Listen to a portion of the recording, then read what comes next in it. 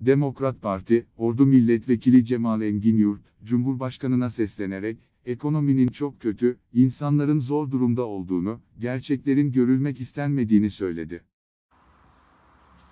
Sayın Cumhurbaşkanı ekonomik kriz yok. Avrupa'daki krize bakınca bizde her şey güllük gülistanlık diyor. Sayın Cumhurbaşkanım geçen ay 340 lira olan elektrik faturası bu ay 1380 lira olmuş. Doğalgaz faturaları el yakmıyor yürek yakıyor, vicdan yakıyor. Sayın Cumhurbaşkanım, akaryakıt fiyatlarındaki artış nakliyeci esnafına, halk otobüsçüsüne kontak kapatma noktasına gelmiş.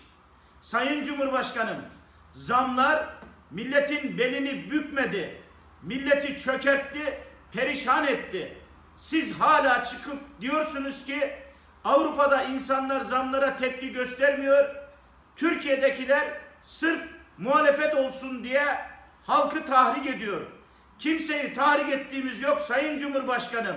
Millet perişan, millet faturaları ödeyemiyor.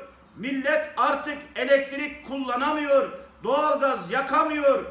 Kamyoncu esnafı, şoför esnafı kontak kapatıyor. Sayın Cumhurbaşkanım, ülkenin gerçeklerini görmüyorsunuz. Görmemek için de sürekli mücadele veriyorsunuz.